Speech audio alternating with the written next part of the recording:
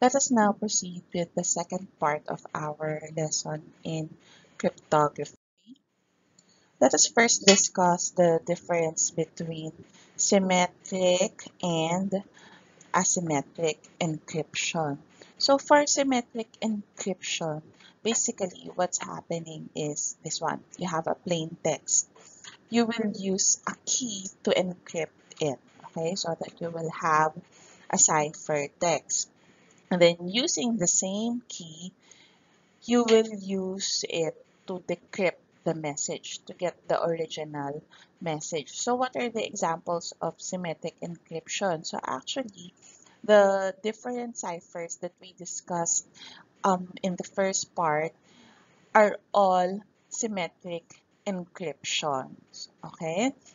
So, meaning to say, if someone has the key, he can use the same key to decrypt the message, right? Whereas for asymmetric encryption, you use a key to encrypt it. You call that a public key. But only the receiver has the key to decrypt it. Okay, so um, I will I will explain this later. Whose public key um, should we use. But anyway, the point here is that whoever will receive the message, so in this case, there's person A and person B. Person A wants to receive a message to person B. So what person A would do is to give um, his public key to person B. And person B would be able to send her a message using that public key. But only person A can read the message because she will use another key to read it. She will use her private key. You can think of it as if um, you have your email. Your email address is like your public key. You announce it to everybody, right? So um, everyone can send you an email because they know your email address. However, you are the only one who can read your email because you have your password for your email. Okay, that's just an analogy with this public key and private key. So to understand more about this um, symmetric and asymmetric asymmetric encryption, let's watch the following video.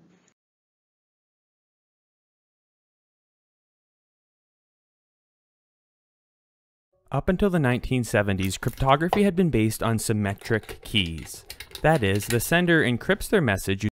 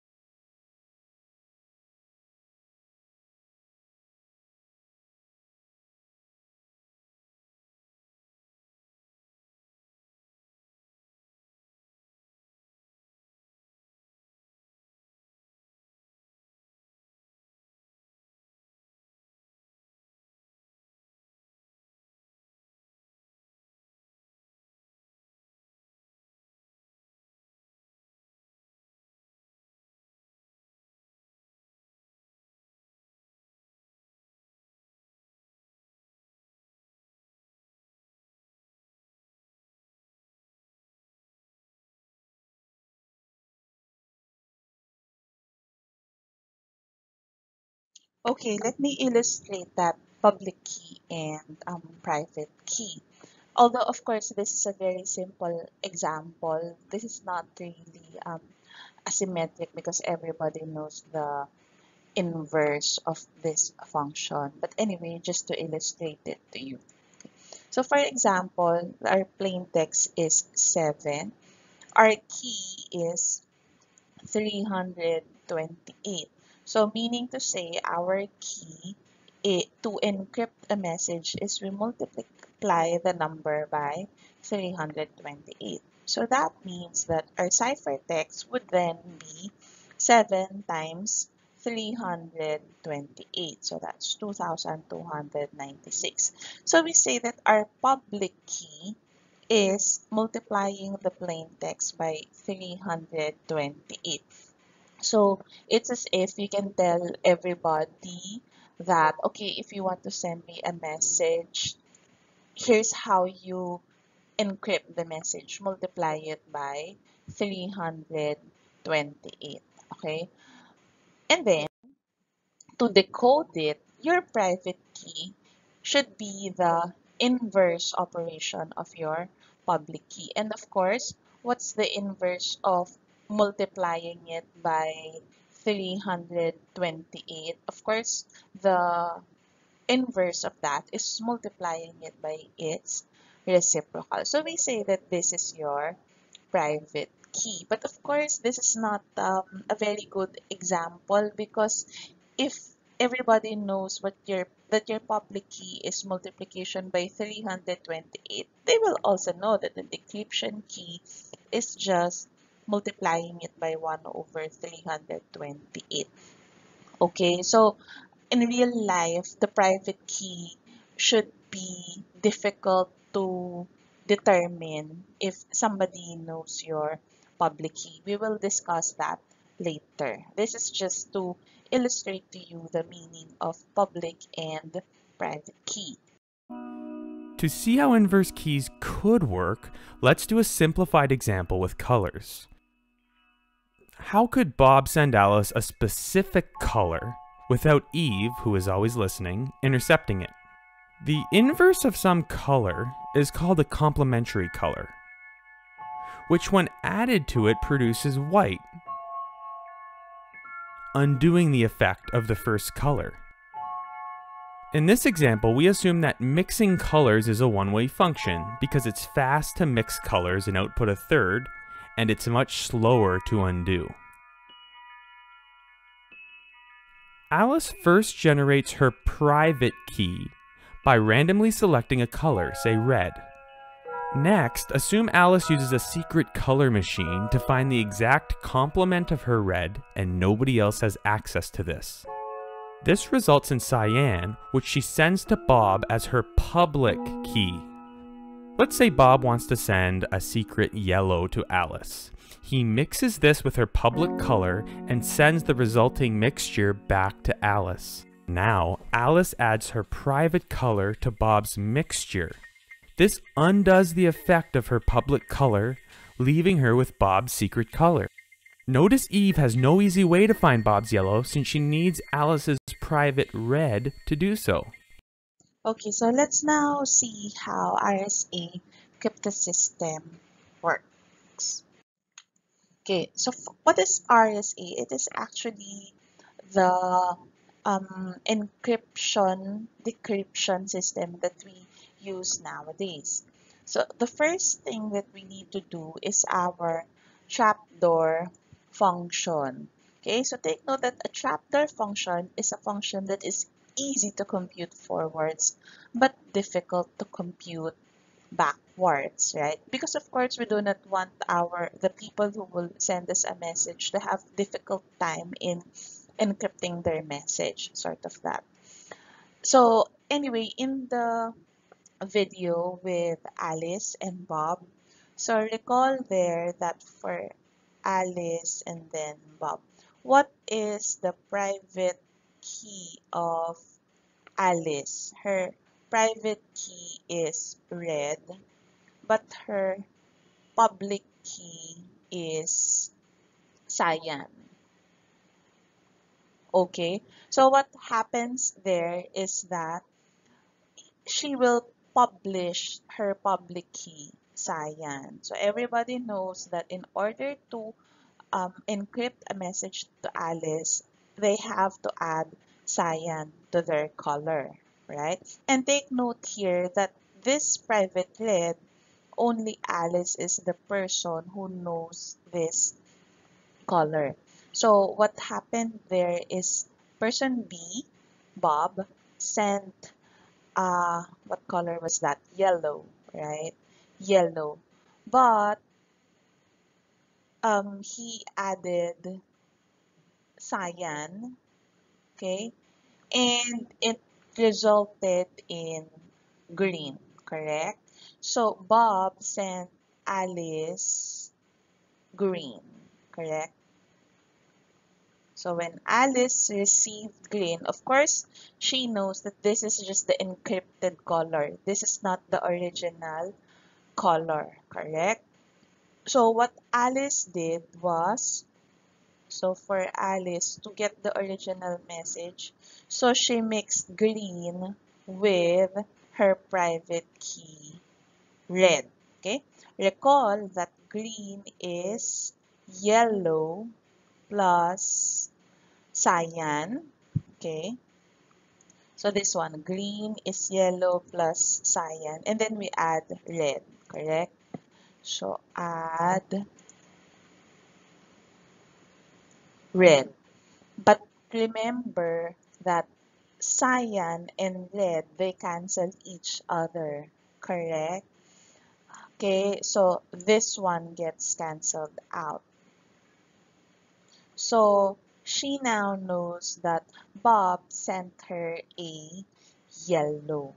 Okay, so any eavesdropper would not be able to encrypt the or the plain color of Bob because they need to have access to Alice's private color, which is red. Okay. Now the next question is what would be the trapdoor function that we will use in order to encrypt and decrypt our messages. Let's watch the following video. The solution was found by another British mathematician and cryptographer, Clifford Cocks. Cocks needed to construct a special kind of one-way function called a trapdoor one-way function. This is a function that is easy to compute in one direction, yet difficult to reverse unless you have special information called the trapdoor. For this, he turned to modular exponentiation, which we introduced as clock arithmetic in the Diffie-Hellman key exchange, as follows.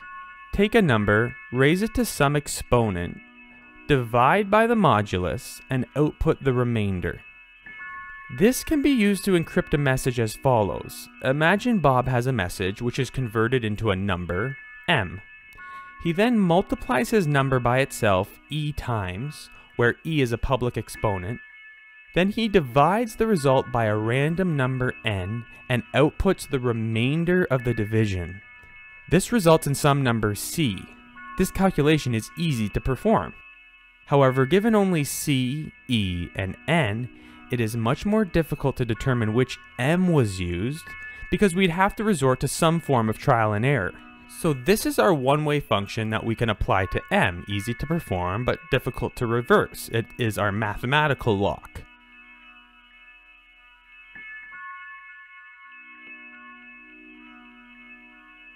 Now, what about the key? The key is the trapdoor some piece of information that makes it easy to reverse the encryption.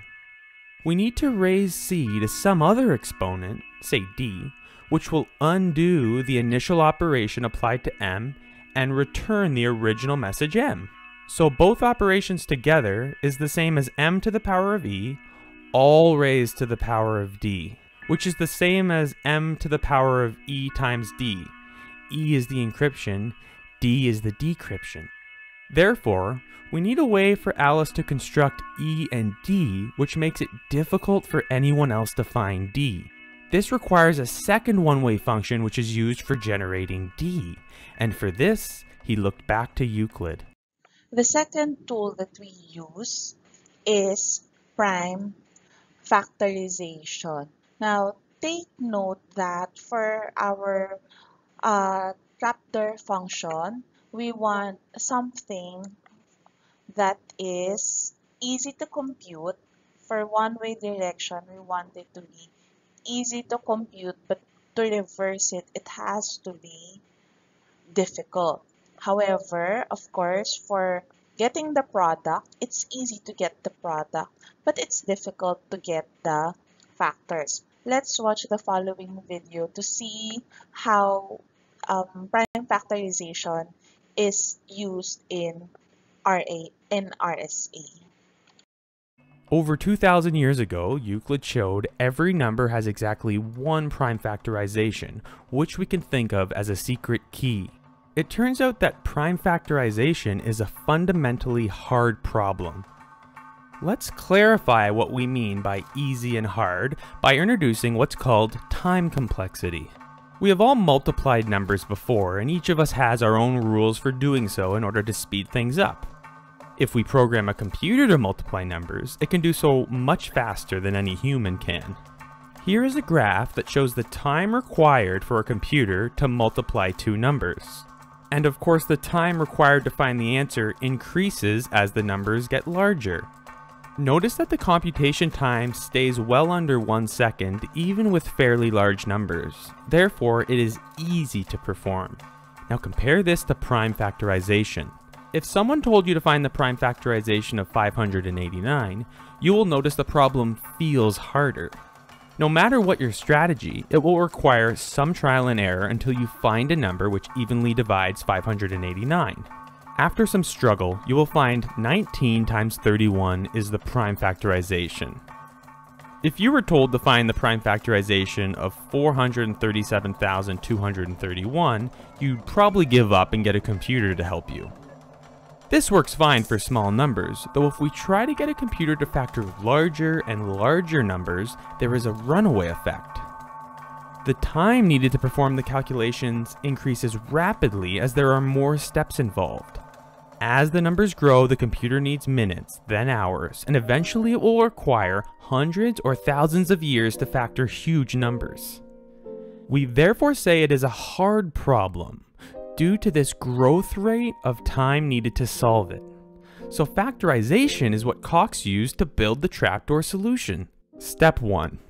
Imagine Alice randomly generated a prime number over 150 digits long. Call this P1.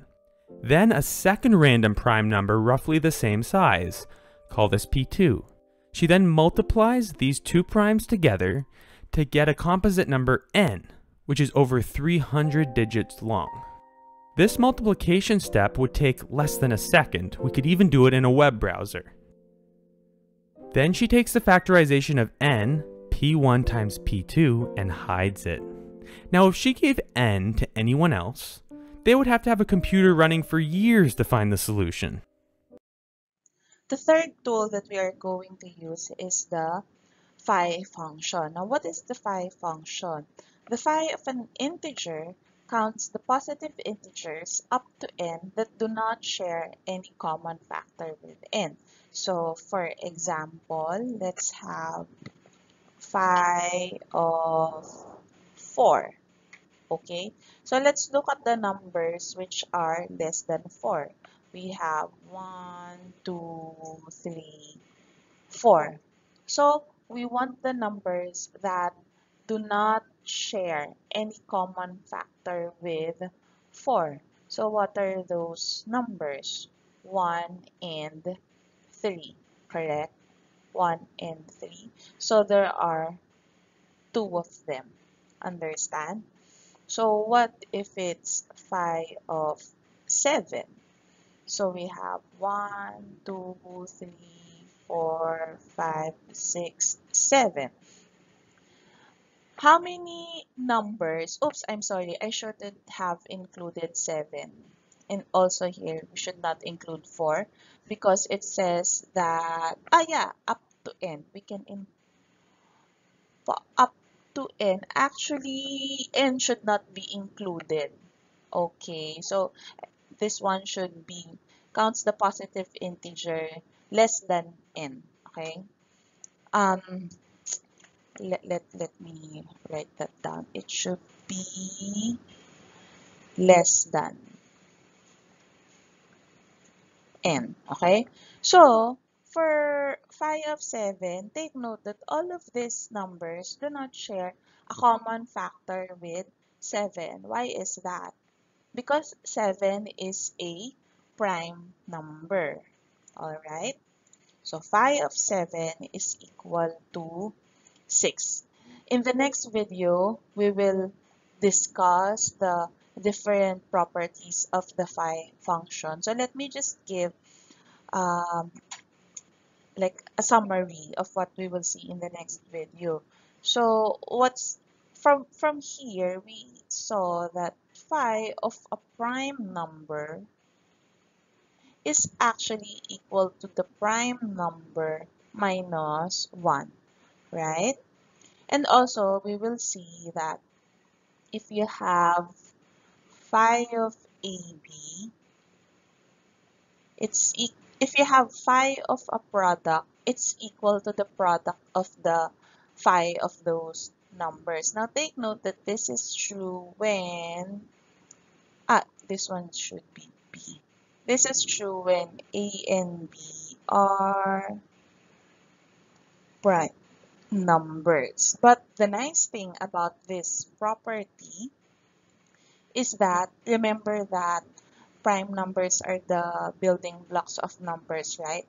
All numbers can be written in its prime factorization. So that's why we use tool number two, prime factorization. Anyway, to learn more about the phi function, let us watch this video. Step 2. Cocks needed to find a function which depends on knowing the factorization of n. For this, he looked back to work done in 1760 by Swiss mathematician Leonhard Euler. Euler continued to investigate properties of numbers, specifically the distribution of prime numbers. One important function he defined is called the phi function. It measures the breakability of a number. So given a number, say n, it outputs how many integers are less than or equal to n that do not share any common factor with n. For example, if we want to find the phi of 8, we look at all values from 1 to 8. Then we count how many integers 8 does not share a factor greater than 1 with. Notice 6 is not counted because it shares a factor of 2, while 1, 3, 5, and 7 are all counted because they only share a factor of 1. Therefore, phi of 8 equals 4. What's interesting is that calculating the phi function is hard except in one case. Look at this graph. It is a plot of values of phi over integers from 1 to 1000. Now, notice any predictable pattern. The straight line of points along the top represent all the prime numbers. Since prime numbers have no factors greater than 1, the phi of any prime number, p, is simply p minus 1. To calculate phi of 7, a prime number, we count all integers except 7, since none of them share a factor with 7. Phi of 7 equals 6. So if you're asked to find phi of 21,377, a prime number, you would only need to subtract 1 to get the solution, 21,376. Phi of any prime is easy to compute. This leads to an interesting result based on the fact that the phi function is also multiplicative. That is, phi a times b equals phi a times phi b. If we know some number n is the product of two primes, p1 and p2, then phi of n is just the value of phi for each prime multiplied together, or p1 minus 1 times p2 minus 1. We now have a trapdoor for solving phi. If you know the factorization for n, then finding phi n is easy. For example, the prime factorization of 77 is 7 times 11, so phi of 77 is 6 times 10, 60. Step 3. How to connect the phi function to modular exponentiation. For this, he turned to Euler's theorem, which is a relationship between the phi function and modular exponentiation as follows. m to the power of phi n is congruent to 1 mod n. This means you could pick any two numbers such that they do not share a common factor. Let's call them m and n. Say m equals 5 and n equals 8. Now, when you raise m to the power of phi n, or 4, and divide by n, you will always be left with 1. Okay, so what we want to do now is to find the private key. How do we get the private key if we know the public key is 8? So here, public key is E we want to find D. Okay, so um, let us recall that since E is our public key, that means our message M raised to E mod N is equal to, let's say that's the ciphertext.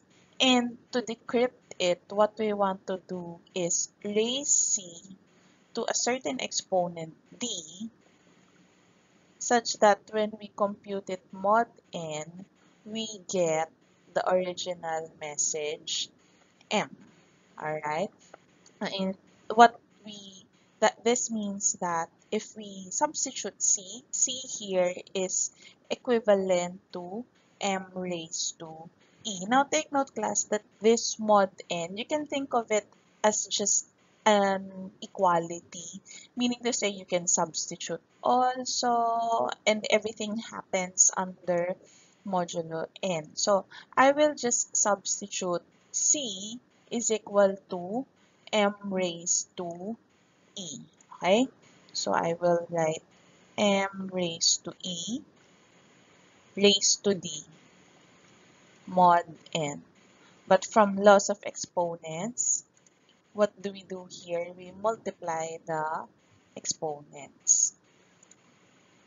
Hence, we have m raised to ed mod n. Okay, this is what we want to achieve, right? If we know our e, we want to find what d is. Now, for this, we need to use Euler's theorem. What does Euler's theorem say? It states that if I have two numbers m and n that do not share common factors, then if I have m raised to phi of n mod n, it should be equal to 1. This is shown in the previous slide, right? So what will we do here? So first, I will raise both sides to k. Alright, so remember that modulo is just like an equation. Whatever you do on one side, you can also do on the other side. And then you just copy the modulo. So the left hand side becomes m. k here is an integer. k times phi of n is also equal to 1 because 1 raised to any integer is equal to 1. Next, since I want to have an m on this side, I will multiply m on both sides of the equation. Using laws of exponents, what do we do with the exponent 1 here and exponent k phi of n? We add, correct? So we have m 1 plus k phi n mod n is equal to 1. if you look at this, this means that we want the exponent ED to be equal to 1 plus k phi of n. So that means D is equal to 1 plus k phi n over E. Okay? So that is how you compute your D. But the question is, how do we find K? So in order to find K, we will use a computer. Okay, actually we can use Excel to find K. Let me illustrate that. Let's now let me illustrate what we what I have shown in the previous slide. So first, we will take two large primes P1 and P2 and compute their product. Okay, so let's say that we take here P1 to be 43 and P2 to be equal to 59. Why do we want our primes to be large? Of course, because if the primes are small, then it will be easy for someone to get the factorization of your um, capital N. Because remember that we want to keep this as a secret. Because if we know the the if we know our n and p1 and p2 are very very large then n would be very large. And it will be difficult for someone to compute p1 and p2 although of course in our example p1 and p2 here are not that large enough. In real life p1 and p2 are really really large like 24 digit number, something like that. Okay, but just to illustrate to you, we will, we, 43 and 59 are already large enough. So anyway, our n here, which is the product P1 times P2, is equal to 2537. And then, we choose a number e less than n and relatively prime to n. What does relatively prime means? And relatively prime to n. What does that mean? It means that e and n do not share common factors. So in this case, we choose e to be equal to 13. Definitely, they do not share any common factors because the factors of n are 43 and 59, whereas e is equal to 13, right? Okay, so now that we have our e, we want to compute our d. Let us recall that d is given by, so d is equal to 1 plus k phi of n over e. Now take note that what is our phi of n? Phi of n, n is p1 times p2, but this is phi uh, of, phi of pi 1, pi 2. But the phi of a prime number is p1 minus 1. Then this is p2 minus 1. So this is our phi of n. The question is how do we find k? So let's do that. Okay, so for this one, we will use trial and error. So let's say this is your k. 1, 2, then let's just drag. Okay let's say up to 25 and then for our formula we want 1 plus k. I do not know. We are looking at the possible value. Times phi of n which in this case is 2436 then divided by 8, which is 13. Okay? So we will see which k would give us, oops, which one would give us an integer. There you go, 5. So that's our answer. k should be equal to 5. We can now compute our d. Let us now make um, find our d. Our d was 1 plus, let me just write that down, k phi of n over e. And then our k was found to be 5, right? And then our phi of n is phi of 43 times phi of 59. So that's 42 times 58. So that's why we got 2436, right? So 2436 over 13. And in our Excel, the answer was 937. So therefore, our public key is NE, which in this case is 25 37 13 and then our private key is ND. D is for decryption. So that's 2537 937.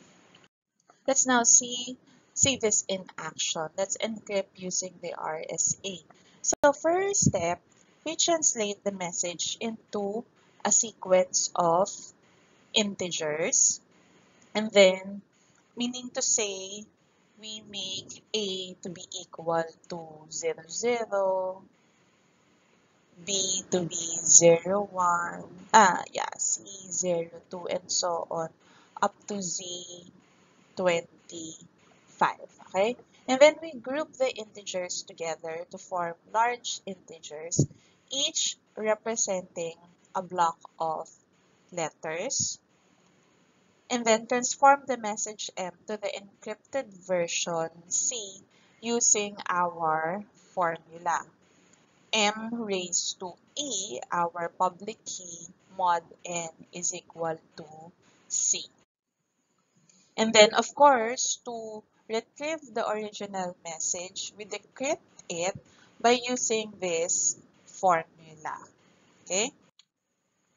So for example, we want to send the message stop. Okay, so first, step one, we translate this into a sequence of integers. So from there, stop would be equal to this number 18, that's for S, T, O, P.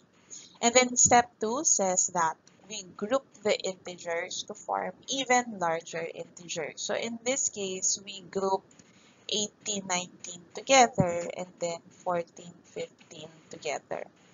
Okay? Next, we now encrypt 18, 19, and 14, 15 using our formula.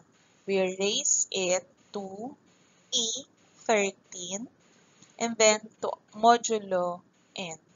2537 and also 1415 raised to 13 mod 2537 is equal to 2182. So to compute the modulo of very large numbers, you just go to wolframalpha.com and then here you type what you want 18, 19, Okay, and then when you want to raise it, use that.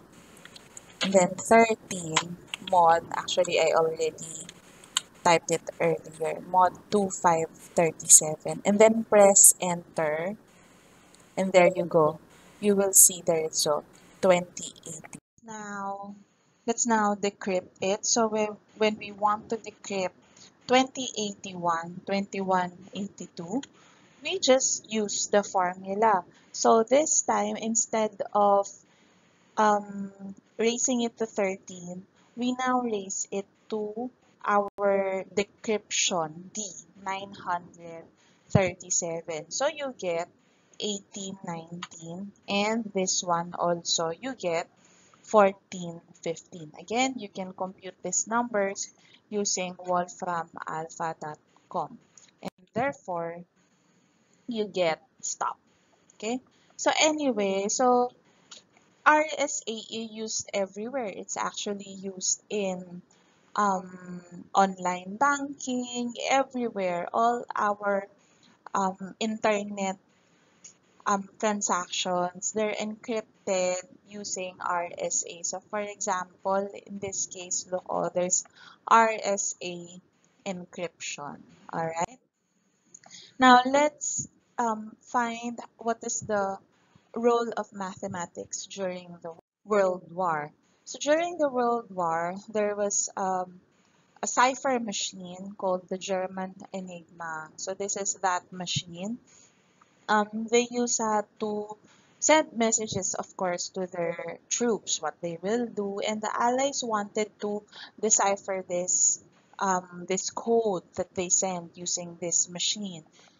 Um, every day, every 24 hours, they change the key. So it's really difficult to to decode it, even the the brightest of all mathematicians. So there is a guy whose name was Alan Turing, and he made a machine that decrypted this code.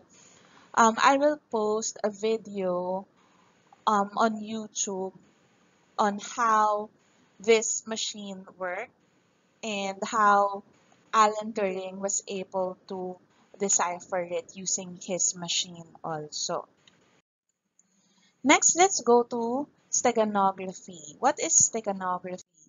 It is the technique of hiding secret data within an ordinary non-secret file or message in order to avoid detection and the secret data is then extracted at its destination. I will show you how to um, hide your data from an image. Let's watch this video. Hey guys, welcome to another Gauging Gadgets tutorial video. In this video, I'm going to show you how to hide any file inside of an image file so that it makes it harder for people to find and it's more private. This tutorial will require a Windows computer and you will have to have some sort of compression software. I'll be using 7-zip, so check the description because I'll have a link down there it's a free software that's highly trusted. All right, so let's go ahead and get started. The first thing I'll be doing is just creating a folder on my desktop, just so it's easier to find these files when we're doing this through command prompt. So what we're going to do is just right click on the desktop and go to new and then select folder. I'm just going to name it test. now what we need to do is add the image that we're going to be hiding the files in and the file that we're going to be hiding in the image to this folder. So I have an image here on my computer. I'm just going to copy it and then I'm going to open up the new folder that we created on our desktop, and I'm just going to paste it in there. I recommend changing the name of the image to something very short and easy. I'm just going to name it image. And then for this tutorial, I'll be hiding a text file, and I'm going to put some numbers in there to represent some sort of transaction or banking information, but none of it will be real. So uh, what I'm going to do is just create a quick text file by right-clicking on the folder, going to New, and then going to Text Document. So I'm just going to name it Text. Then I'm going to open up the text file and just add some information to it. All right. So I have my fake banking information in this. I'm just going to save it. So now what we need to do with the file we're going to hide in the image is compress it. So I'm going to select the text file. Then I'm going to right click it and go to 7-zip and I'm going to select add to text.zip. So it's going to create that quick zip file. Now we have a text.zip file. So now we're ready to get into where we can actually hide this file inside of our image. We have our image and we have our compressed file that we're going to hide inside of that image. So now what we need to do is open up CMDB and we can easily do that by simply selecting the start button in the bottom left. It looks like the Windows logo and then just start searching CMD. So as you can see, command prompt came up. So now when we have command prompt open, what we need to do is direct command prompt to the folder that we created where we put the image file and the text file. And if you use the same location as me just with a folder on your desktop. It's very easy. All we need to do is type cmd space desktop forward slash and then the name of the folder. So for me, it's test. And there you go. We have cd space desktop slash test. So if I press enter, now as you can see, CMD is showing that we are in the test folder. So if I type dir, it'll give me a directory of all the different items that are in that folder. So you can see our image file, you can see the original text document, and then the new zip file that we created with the text document. And this is also great because it gives us the full file name, including the extension of all the files in that folder. We'll need that later. So now we have command prompt located in the folder containing all of our files. We need to type one line of code and then we'll be done. And if you get lost, check the description. I'll have a detailed write-up down there, including what we're typing into CMD so that you don't have to squint at the screen to figure it out. So what I'm going to type in is copy space forward slash B space the name of the image file. So image.png plus symbol and then the name of the zipped file. So text.zip. Now we're going to do is do a space and then we're going to create a new image file. So this is going to be image2.png. So basically what we're doing is telling it to copy the file and do that by combining these two files, the image, then the zip file. And what we're going to do is output a new image file. So I'm going to select enter and it's going to tell us that we have one file that's been copied. So now when we go back to our test folder, you can see that we now have image 2. If I click on that, it's just going to open up the same image as image 1. There's no difference there. But if I open up that image 2 with 7-zip, so what we're going to do is we're going to open up 7-zip on our computer, the file manager, and you want to point the directory up here to the desktop and then the test folder. What you need to do is open up image 2 right here, and we can see the text document. We can even open it up and you'll see the text document open up with the routing number and account number. Now, if you did that with a video file or anything like that, those will open up using that method as well. One other thing I want to point out is the size of the image will go up by the size of the file that's being hidden in that image. So the original image file is going to be 21.4 kilobytes. And as you can see, because it was a small text file that was compressed, it went up by 0.2 kilobytes right here. So if you were to add a very large file to an image, it's going to be very easy for someone who's looking for it to identify that image as something suspicious because the image will be very large. So it's just something to keep in mind when you're doing this. All right, so that's how you hide any file inside of an image file. If you have any questions about this, leave a comment below. I'll get back to you as soon as I can. If you'd like to see more tutorial videos, check the links in the description. If this video helped you, give it a thumbs up, and please consider subscribing to my channel, Gauging Gadgets, more gadget reviews and tech tutorials. Thank you so much for watching. Let us now go to digital signatures. So to learn more about digital signatures, let's look at this video.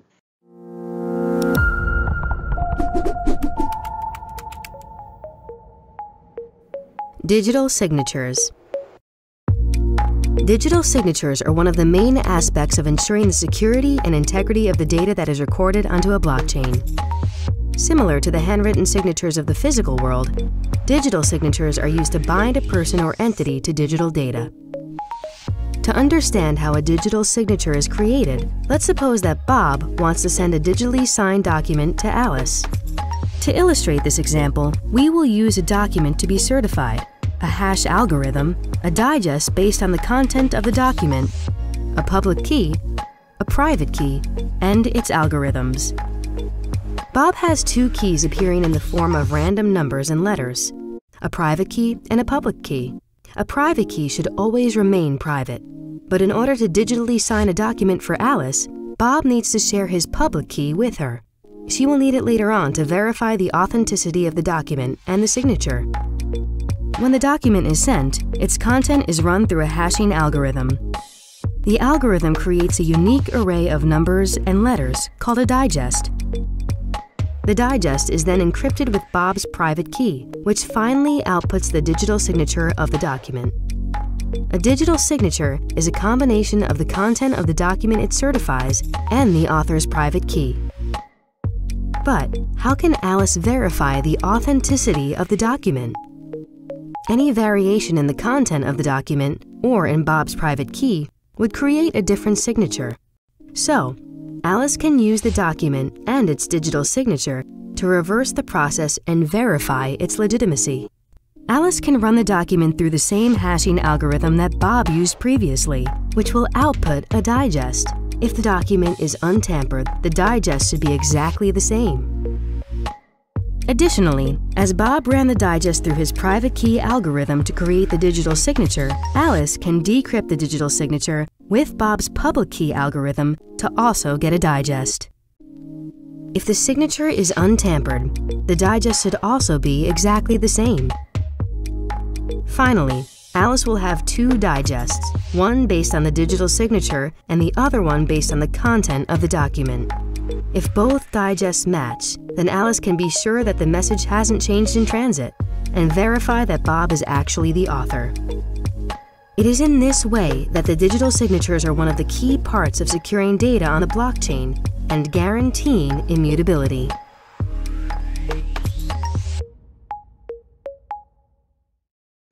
All right, so let me just show you the how digital signatures are um, generated um, in a slower version. So anyway, this is just from the video. So we have Bob and this is his document. And then he uses a hashing algorithm to make a digest. This digest here is just like text, okay? And then he uses his private key with this digest. So remember that digest plus private key equals your digital signature. And then, okay, so this is how Alice will now ident um, authenticate that it is really from Bob. So there are two steps that she needs to do. Step one,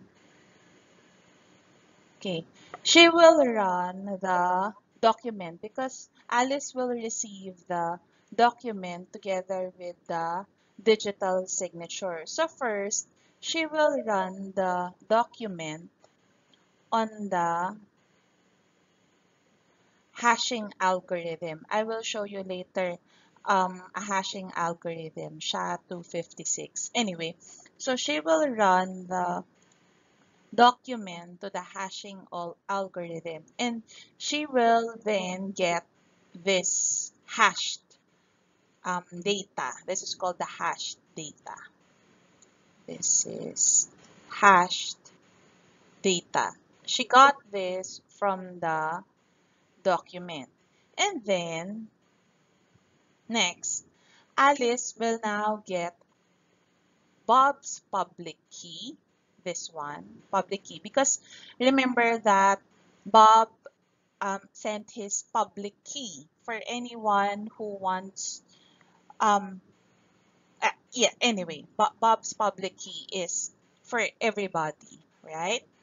So, what Alice would do is she will get Bob's public key and this digital signature. Now, let us recall that the digital signature is actually a combination of the that's hash data hash data that was generated by Bob right plus Bob's private key okay so what will happen class if um, Alice will add right will use Bob's public key so the public key and private key will now cancel each other. So that's why Alice will now get another hash data. So what she will do is she will compare the hash data that she got from the document lang, let's say the, a Word file, and she will get the hash data she will get from the digital signature. So let me write that for the step two. From the digital signature plus the public key, she will also generate a hash data. And then she will compare these two and these two should be the same if there is no tampering of the data. Okay, but if these two hash data are not the same, that means that yeah, it's not authentic. Okay, I will now illustrate to you a hashing algorithm. Okay, so what you do, you just go to Google and type SHA-256. Then you can go to this one, cryptographic hash algorithm. So this is where you put your message. So for example, I write, Hi, I am Dr. Diana Song Song. Take note that is your hash, right? So this is what we mean by that, okay? Take note that if I just put a period, what happened? The hash is completely different. Okay, so that's the hashing algorithm that we were talking about. But take note that the hashing algorithm, it's only a one-way function, meaning to say if you know this hash, you will not be able to get the original message. Okay?